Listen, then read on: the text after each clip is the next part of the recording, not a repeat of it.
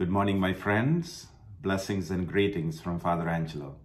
Today is Wednesday, the third week of Advent. Today's first reading from Prophet Isaiah helps us to reflect on the first commandment. You all know that there are 10 commandments, right? And I hope you know all the 10 commandments because it is important to know the commandments. If you do not know the commandments, how are we going to follow those commandments? God's commandments are for our good and they're important and they must be followed. So the first commandment is, I am the Lord your God, and you shall have no other God besides me. So in the first reading through prophet, our God is telling us, I am the Lord, there is no other. I created the heavens.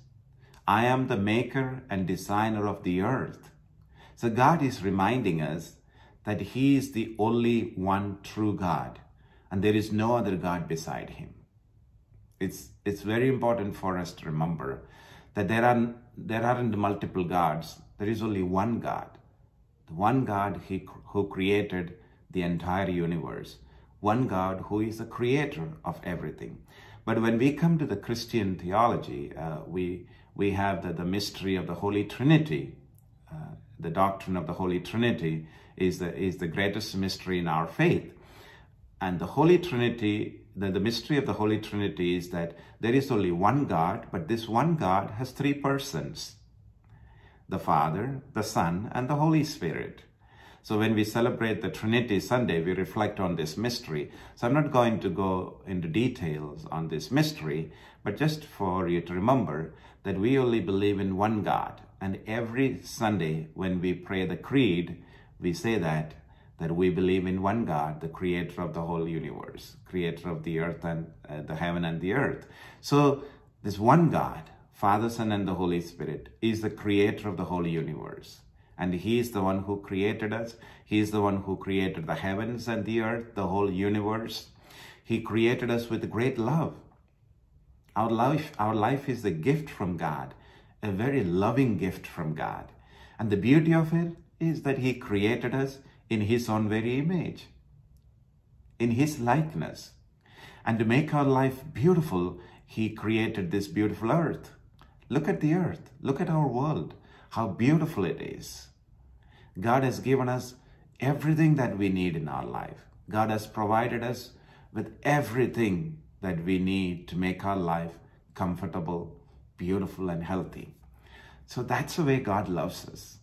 And then when we go further in the reading, we see the Lord telling us, Turn to me and be safe, all the ends of the earth, for I am the Lord and there is no other. So God is telling us, if we, if we want to be safe, if we want to be protected, turn to the Lord. There is no other God. No one else can protect us. God alone can protect us from all the dangers that is there in this world.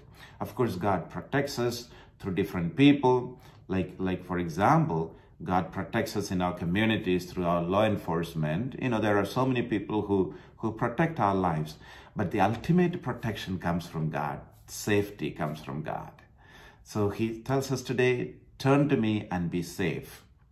When we turn to our God, when we acknowledge him as our God, when we honor him, when we give thanks to God, when we remain faithful and obedient to God, our lives are safe.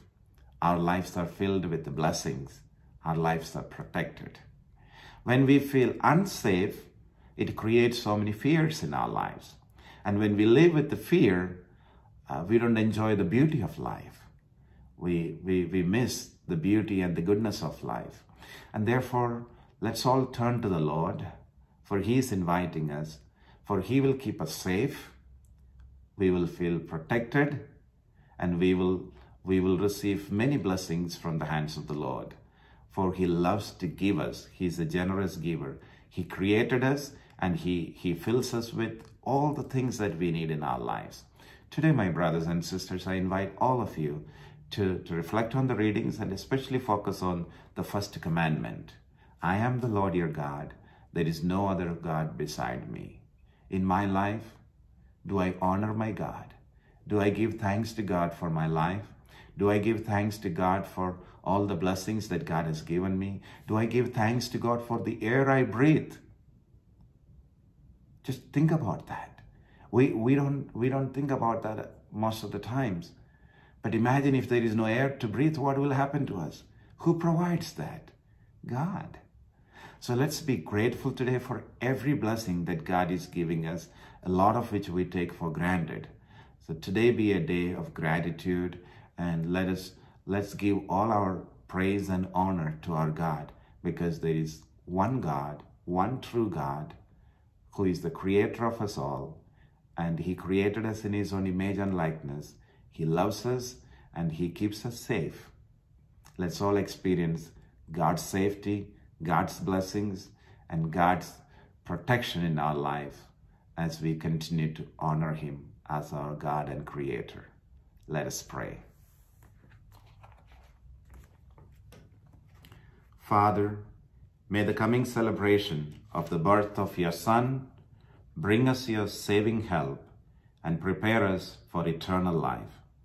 Grant this through our Lord Jesus Christ, your Son, who lives and reigns with you in the unity of the Holy Spirit, one God, forever and ever. Amen. My brothers and sisters, have a wonderful day. Let's pray for one another and continue to experience God's blessing, God's love and presence in our lives. Have a beautiful day. God bless you, and I love you very much.